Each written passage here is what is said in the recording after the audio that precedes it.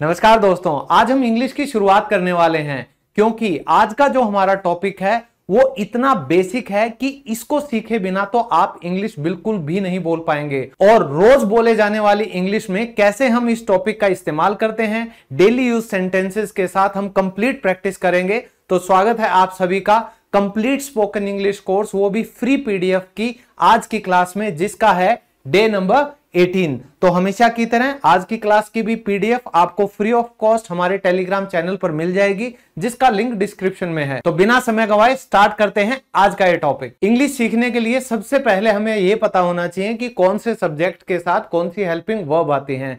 तो अगर मैं बात करूँ सब्जेक्ट्स की तो ये सभी सब्जेक्ट्स हैं तो ये पूरा चार्ट आपको पीडीएफ के रूप में मिलने ही वाला है टेलीग्राम चैनल पर। तो ये अगर देखेंगे I he she it we, you, they, ये सभी सब्जेक्ट्स प्रेजेंट में अपने साथ अलग हेल्पिंग वर्ब लगाते हैं पास्ट में अलग लगाते हैं। आज जो हमारा टॉपिक है, वो है ये हेल्पिंग वर्ब जो कि सिर्फ़ हेल्पिंग वर्ब के तौर पर ही नहीं, इसका मेन वर्ब के तौर पर भी इस्तेमाल किया जाता है। कैसे? वो अब हम सेंटेंसेस करने वाले हैं।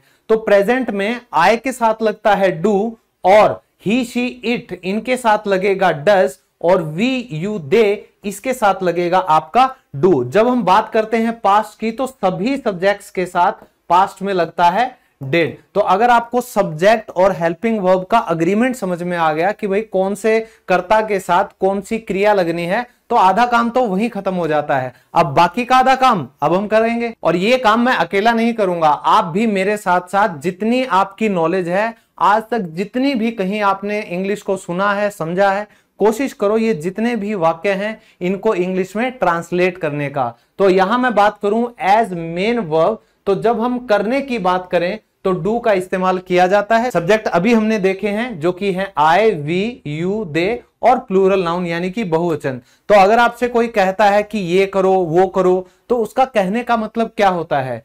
योग करो तो वो क्या होगा? डू योगा। इसका मतलब क्या होता है? कि योगा करो। फिर है मेहनत करो। इसका मतलब क्या होता है? डू हार्ड वर्क क्योंकि हार्ड वर्क को ही हम क्या कहते हैं? मेहनत कहते हैं। फिर अगर कोई कहता है, भाई, कसरत करो, जैसे जिम विम में जाते हो तो कसरत के लिए आप क्या कहोगे? आप कहोगे डू एक्सरसाइज तो अगर आपको इन तीनों के अलावा कोई भी काम करने के लिए कहा जाता है कि इसे करो, मान लीजिए आपके सामने कोई कड़ा है, मैं कहता हूँ कि, भाई, ये काम जो चल रहा है, तुम पहले इसे करो। तो मैं क्या कहूँगा? डू इट डू इट या ये पहले करो डू इट फ़र्स्ट तो इस तरीके से आप कई सिचुएशंस में इन वाक्यों को इस्तेमाल कर सकते हैं। अब थोड़ा सा नेक्स्ट स्टेप हम लेकर जाएँ। अपना काम करो। कोई दूसरे के काम में अपनी नाक अड़ाता है तो उसको क्या कहते हैं? भाई, अपना काम कर ले। आप क्या कहना चाह रहे हो? डू योर वर्क वर्क यानी कि अपना काम करो। अपना होमवर्क करो। बच्चे जब स्कूल से आते हैं, सबसे पहले हम क्या कहते हैं? बेटा, अपना होमवर्क कर लो। तो हम क्या कहना चाहते हैं? कि डू योर और गृह कार्य, यानी कि होमवर्क वो स्कूल का भी हो सकता है ऑफ़िस का भी हो सकता है भाई। आजकल तो वर्क फ्रॉम होम चलता है ना, वो होमवर्क ही हो गया।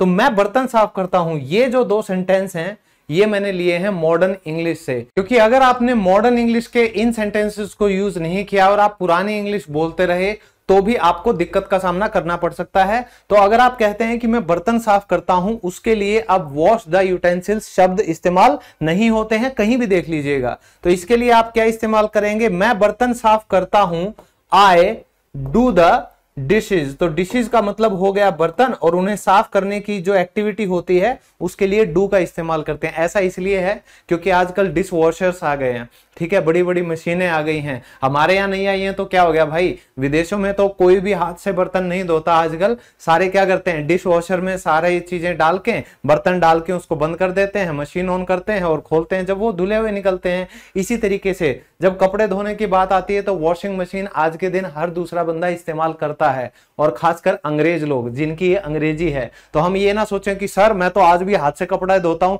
अरे भाई, आप अगर पुराने काम ही कर रहे हो तो आप वॉश द क्लोथ ही बोलिए लेकिन जो भी लोग वॉशिंग मशीन में कपड़े अपने धोते हैं, वो भी एक्टिविटी हमें ही करनी पड़ती है ना। तो क्योंकि डू का इस्तेमाल सिर्फ़ इन्हीं सब्जेक्ट्स के साथ होता है तो मैंने सब्जेक्ट को बदल दिया है। तो मैं कपड़े धोता हूँ तो कपड़ों के लिए आप किस चीज़ का यूज़ करते हैं? क्लोथ्स का। लेकिन यहाँ देखिए, ये चीज़ बदल जाती है। यहाँ आपको कहना पड़ेगा आई डू द लॉन्ड्री। तो लॉन्ड्री का मतलब होता है कपड़े, जिसमें सभी कपड़े आ जाते हैं। तो वॉशिंग मशीन से जो कपड़े धोए जाते हैं, उस प्रक्रिया को आज के दिन मॉडर्न इंग्लिश में कहा जाता है डूइंग द लॉन्ड्री तो ये हो गया हमारा डू का इस्तेमाल एज मेन वर्ब अब इसका दूसरा इस्तेमाल करते हैं, जो कि है हेल्पिंग वर्ब के तौर पे। डू का सबसे ज़्यादा इस्तेमाल इंग्लिश में होता है हेल्पिंग वर्ब के तौर पे ही। तो जब भी हम प्रेजेंट टेंस की बात करते हैं तो जब भी नेगेटिव सेंटेंस आएगा या इंटेरोगेटिव सेंटेंस आएगा तो हमें हेल्पिंग वर्ब के तौर पर डू को ही लेना है सिंपल प्रेजेंट टेंस फॉर्म में। तो देखिए डू का मतलब होता है करना सब्जेक्ट्स वही रहेंगे, लेकिन इसका काम कैसे बदलेगा? मेन वर्ब इसके साथ अब आ जाएगी, क्योंकि ये बन जाएगा हेल्पिंग वर्ब तो हम ताश नहीं खेलते तो ताश नहीं खेलना, उसके लिए हम क्या लिखेंगे? वी डू नॉट तो आप इस्तेमाल करने लग जाएँगे डू नॉट का। देखिए, डू जब भी हेल्पिंग वर्ब के तौर पर आएगा, या तो उसके साथ नोट आएगा, या जो ये डू है, ये आएगा इंटेरोगेटिव सवाल में सब्जेक्ट से पहले। तो ये कॉमन सेंस है। एक बार चीज़ें समझ लो प्रैक्टिस कर लो, उसके बाद तो आपको आदत पड़ी जाएगी। तो वी डू नॉट हम क्या नहीं खेलते? अब प्ले यानी कि वर्ब की फ़र्स्ट फॉर्म तो जो भी हेल्पिंग वर्ब आती है, उसके बाद मेन वर्ब ज़रूर आएगी। ठीक है? तो we do not play cards तो कार्ड्स यानी कि ताश। मैं उसको नहीं जानता तो जानना हमारा हो गया मेन वर्ब और नेगेटिव के लिए हम क्या लिखेंगे? आई डू नॉट और आई के साथ डू क्यों आया? क्योंकि इन्हीं सब्जेक्ट्स के साथ हम डू का इस्तेमाल करेंगे हेल्पिंग वर्ब मैं उसको नहीं जानता।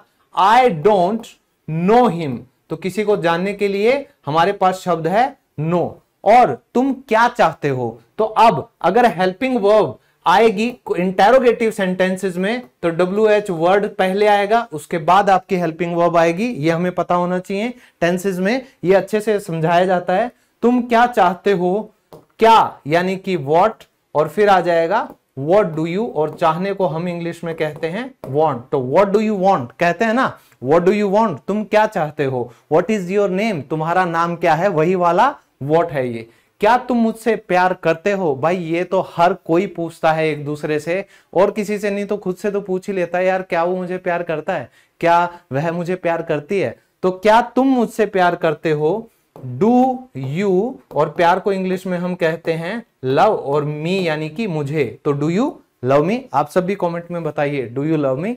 चलिए, तुम रसोई में क्या कर रहे हो? तो यहाँ हेल्पिंग वर्ब के तौर पर नहीं, बल्कि मेन वर्ब के तौर पर भी डू का इस्तेमाल हुआ है। क्यों?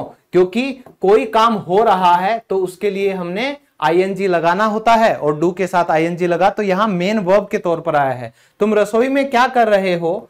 What are you doing what are you doing और कहाँ कर रहे हो? रसोई में। तो आप लिख दोगे इन द किचन तो what are you doing in the kitchen what are you doing there what are you doing now कि तुम अब क्या कर रहे हो? आप सब वीडियो देख रहे हो? लाइक कर देना, जो भी आ गया है। नेक्स्ट सेंटेंस लास्ट सेंटेंस है, तुम मुझे सच क्यों नहीं बताते? तो कई बार लोग झूठ बहुत बोलते हैं भाई। तो आप कहते हो, तुम मुझे सच क्यों नहीं बताते?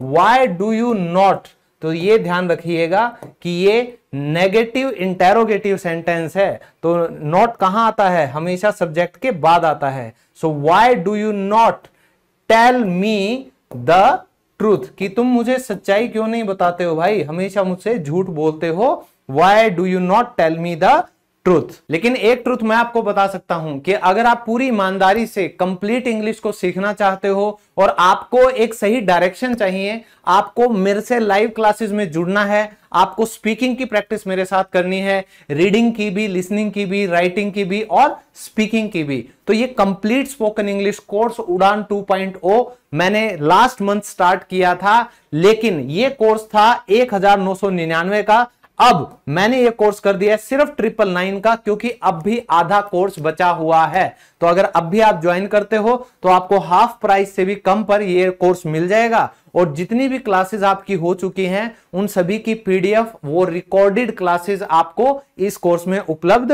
हो जाएँगी। तो ये एक साल की वैलिडिटी वाला पूरा कंप्लीट कोर्स है। तीन महीने का, डेढ़ महीने का हो चुका है। इसमें ये सभी क्लासेज आपको मिलेंगी एक साल की वैलिडिटी के साथ। और ये कंप्लीट स्पोकन इंग्लिश कोर्स है। इसमें कंप्लीट स्टडी मटेरियल भी है। कहीं से कुछ आपको लेना नहीं पड़ेगा। और कोई भी अगर आपको क्वेरी है, कुछ समझ अब भी नहीं आ रहा तो मेरी एप्लीकेशन डाउनलोड कीजिए। इंग्लिश लवर्स के नाम से आपको मिल जाएगी गूगल प्ले स्टोर से। और अभी अगर आपकी कोई क्वेरी है तो आप नीचे गए इन दो नंबर्स पर कॉल करके मुझसे जुड़ सकते हैं। और इसके साथ साथ एक बहुत बड़ी खबर मैं आप लोगों को देने जा रहा हूँ। जो लोग ग्रामर के रूल्स के रट्टे नहीं मारना चाहते वो सीधा सिचुएशन के हिसाब से इंग्लिश को सीखना चाहते हैं। तो भाई आप सबके लिए मैंने लॉन्च कर दी है। दस हज़ार डेली यूज़ के इंग्लिश सेंटेंसेस की zero level to hero level एक नई किताब। तो इस बुक का लिंक आपको अमेजोन का लिंक हो या फ्लिपकार्ट का लिंक हो वीडियो के डिस्क्रिप्शन में मिल जाएगा। अमेजोन फ्लिपकार्ट पे ये बुक अवेलेबल है। अगर आपको सिर्फ़ इसका पीडीएफ फॉर्म चाहिए,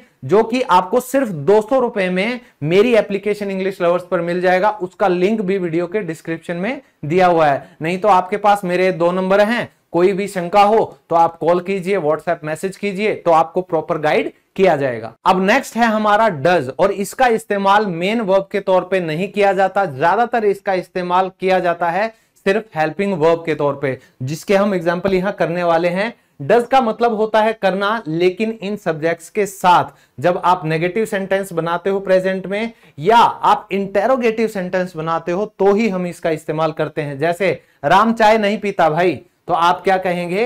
Ram does not drink tea और ड्रिंक की जगह आप इस्तेमाल कर सकते हो हैव का। ये मैंने बताया है कई बार ईट और ड्रिंक की जगह। आज के दिन आप हैव का इस्तेमाल करें मॉडर्न इंग्लिश में तो बेटर साउंड करता है। फिर रवि कहाँ रहता है? वेयर डज रवि लिव कि रवि कहाँ रहता है? तो ये जो डज है, ये दोनों जगह ही किस रूप में आया है? हेल्पिंग वर्ब के तौर पर। वह मुझे पसंद नहीं करता। तो क्या करें? He does not like me he doesn't like me तो डज नॉट को आप बोलते वक्त डजेंट भी बोल सकते हो। नेक्स्ट है, वह मेरी बात नहीं सुनता। तो आप कह सकते हैं he doesn't listen to me कि वह मेरी बात नहीं सुनता। क्या वह अंग्रेज़ी बोलता है? डज ही स्पीक इंग्लिश कि क्या वह अंग्रेज़ी बोलता है? क्या तुम अंग्रेज़ी बोलते हो? इसका ट्रांसलेशन क्या होगा? कमेंट में सभी लोग बताएँगे जिसका सही होगा, मैं उसे हार्ट ज़रूर दूँगा। नेक्स्ट क्या रवि अंग्रेज़ी सीखता है? आप में से कोई रवि है क्या? हो तो एक बार बताना मेरे को। क्या रवि अंग्रेज़ी सीखता क्योंकि रवि का मैं बहुत इस्तेमाल करता हूँ नाम का, और पता नहीं क्यों रवि नाम मुझे प्यारा भी है। क्या रवि अंग्रेज़ी सीखता है? डज रवि लर्न इंग्लिश क्या रवि अंग्रेज़ी सीखता है। वह हमारे साथ क्यों नहीं रहती? वो तो उसी से पूछो भाई। लेकिन हम इसका ट्रांसलेशन करेंगे। Why does she not live with us दोस्तों, यहाँ ध्यान से देखिएगा। Why does she not live with us ये लिखने के हिसाब से बिल्कुल सही है, लेकिन जब आप स्पोकन इंग्लिश की बात करते हो तो आप इसको क्या कह सकते हो? Why she doesn't live with us ये खूबसूरती है स्पोकन इंग्लिश की, कि आप एक आधे रूल्स को, जैसे डोंट को हमेशा साथ रख सकते हो डजेंट को हमेशा साथ रख सकते हो तो ये आप कर सकते हो सिर्फ़ स्पोकन इंग्लिश में। अब नेक्स्ट हमारा हेल्पिंग वर्ब है डिड तो जैसे हमने प्रेजेंट में डू और डज का इस्तेमाल किया है, इसी तरीके से बीते हुए समय के लिए पास्ट में हम यूज़ करते हैं, जो भी आपने काम किया है, उसके लिए डिड का, चाहे वो आपका नेगेटिव सेंटेंस हो पास्ट में, या वो आपका इंटेरोगेटिव सेंटेंस हो, दोनों ही टाइप के सेंटेंसेस में हम इस्तेमाल करेंगे सिर्फ़ और सिर्फ़ डिड का एज अ हेल्पिंग वर्ब तो देखिए प्रैक्टिस करें। मैंने झूठ नहीं बोला था। I did not tell a lie तो दोस्तों, आप इसको टेल लाई भी कह सकते हैं या सिंपली क्योंकि हेल्पिंग वर्ब ऑलरेडी आ चुकी है, आप सीधा ये भी कह सकते हैं कि आई डेंट लाई तो डिड नॉट को आप स्पोकन इंग्लिश में हमेशा क्या कह सकते हो? आप इसको कह सकते हो डिंट ये बोलने में ऐसे आता है D I N T didn't कि मैंने ऐसा नहीं बोला था। क्योंकि ये जो नेक्स्ट डी है, ये आपका साइलेंट हो जाता है। मुझे ये नहीं पता था। आई डेंट नो दिस कि भाई मुझे इस बारे में नहीं पता था, मुझे ब्लेम मत करो। मैं घर जाना नहीं चाहता था, मुझे धक्के से भेजा गया था। I didn't want to go home to go यानी कि जाना वॉन्ट यानी कि चाहना, और नहीं किया कोई भी काम बीते हुए समय में, उसके लिए डिड नॉट आ गया। ठीक है? उसको घर पसंद नहीं आया था। He didn't like the house like यानी कि पसंद और घर यानी कि हाउस और यहाँ घर को हमने होम क्यों कहा है? क्योंकि जब आप अपने घर की बात करते हो तो आप हमेशा कहोगे, जो रिश्तों से घर बनता है होम की, और जब आप एक फ़िज़िकल लोकेशन वाले घर की बात करते हो तो आप हमेशा इस्तेमाल करोगे हाउस की। क्या वह मुझसे मिलने आई थी? Did she come to meet me to meet यानी कि मिलना? कम यानी कि आना। और दोस्तों, ये बात याद रखना, सबसे बड़ी जो गलती लोग करते हैं कि इसमें जब आपने एक बार डिड का इस्तेमाल कर दिया ना, किसी भी एक सेंटेंस में, अगर आपने डिड लगा दिया, उसके बाद कभी भी आपको सेकंड वर्ब नहीं मिलेगी, सिर्फ़ फ़र्स्ट वर्ब आपको लगानी है। ये बात याद रखना। कई लोग कहेंगे कि I did not played cricket जो कि बिल्कुल गलत होता है। मैंने क्रिकेट नहीं खेला था। I did not play cricket मैंने खत नहीं लिखा था। I did not write a letter या रोट अ लेटर ये करेक्शन आप बताइएगा जितना आपको समझ में आया है कॉमेंट में। हमने चोरी नहीं की थी। वी डिड नॉट स्टील कि हमने चोरी नहीं की थी। और क्या तुमने मुझे बुलाया था? डिड यू कॉल मी क्या तुमने मुझे बुलाया था। तो आखिरकार आ गया है प्रैक्टिस टाइम आप सभी को जितना भी समझ में आया है डू डज और डिड के बारे में, इन सेंटेंसेस से आपको पता चल जाएगा कि आपको कितना समझ आया है। और एक बार में समझ नहीं आया तो भाई थ्री टाइम्स का रूल होता है। किसी भी चीज़ को सीखने के लिए कम से कम तीन बार ज़रूर देखना चाहिए। तीन बार कोशिश ज़रूर करनी चाहिए, तब वो चीज़ पूरी कंप्लीटली समझ में आ जाती है। तो सबसे पहला वह मुझसे बात नहीं करती। She does not talk to me या she doesn't talk to me Ram को खाना पसंद नहीं आया। Ram didn't like the food की यानी पसंद नहीं आया था। बीते हुए समय की बात है डिड नॉट आएगा। वह कल स्कूल नहीं गया था। He didn't go to school yesterday बीता हुआ समय डिड आ गया और उसके बाद first form of verb did आ गया। फ़र्स्ट फॉर्म ऑफ़ वर्ब ये दो तीन छोटी छोटी गलतियाँ अगर आप एक बार कॉन्शियस होकर समझने लग गए ना कि बोलते समय ये गलतियाँ आप नहीं कर रहे हो तो 90 परसेंट आपकी जो इंग्लिश है, वो अपने आप करेक्ट हो जाएगी और फिर जो कॉन्फिडेंस आएगा, भाई, दबा के आप इंग्लिश बोलोगे फिर। देखो, क्या आप मुझे प्यार करते हैं? इसका तो आपको पता हो ही गया होगा। डू यू लव और मुझे की इंग्लिश होती है me so do you love me तुम मुझसे नहीं मिलते हो। क्यों नहीं मिलते हो भाई? You don't meet me you don't meet me क्यों नहीं मिलते हो? बताओ। हम एक साथ नहीं रहते। We do not live together कि हम एक साथ नहीं रहते। मैंने चोरी नहीं की थी। आई डिड नॉट स्टील कि आई डिंट स्टील मैंने चोरी नहीं की थी और मैंने कोई चोरी नहीं की थी। I did not steal anything या आप इसको कह सकते हो। आई स्टॉल नथिंग क्योंकि नथिंग का मतलब अपने आप में क्या है कि कुछ नहीं। नेक्स्ट हमने किसी को नहीं बताया।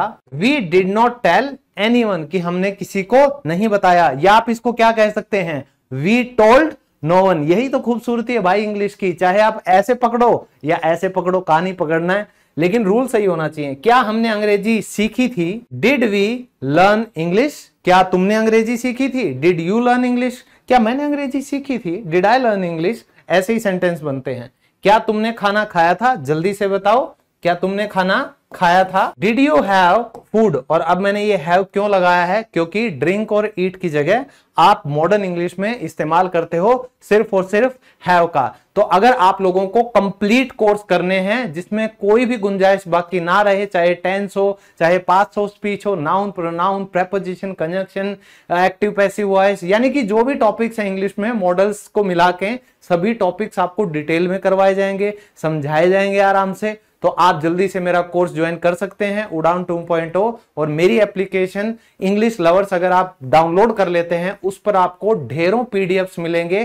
25 पीडीएफ का एक अलग से मैंने कंप्लीट स्पोकन इंग्लिश का स्टडी मटेरियल का कोर्स भी बना रखा है। तो जल्दी से अपने फ़ोन उठाइए एप्लीकेशन को डाउनलोड कीजिए और इंग्लिश सीखने की अपनी जो जर्नी है, उसको शुरू कीजिए। और आज की इस क्लास की पीडीएफ आपको मेरे टेलीग्राम चैनल पर मिलने वाली है, बिल्कुल फ्री ऑफ़ कॉस्ट तो उम्मीद करता हूँ आज की क्लास आपको पसंद आई होगी। ऐसे ही इंग्लिश की प्रैक्टिस मेरे साथ करते रहें। चैनल पर पहली बार आए हैं तो भाई सब्सक्राइब ज़रूर कीजिएगा और अपने दोस्तों के साथ भी इसे शेयर कर देंगे तो मुझे बेहद खुशी होगी। और लाइक करें शेयर करें और सब्सक्राइब करें, यही मेरा कहना है अंत में। शुक्रिया, धन्यवाद।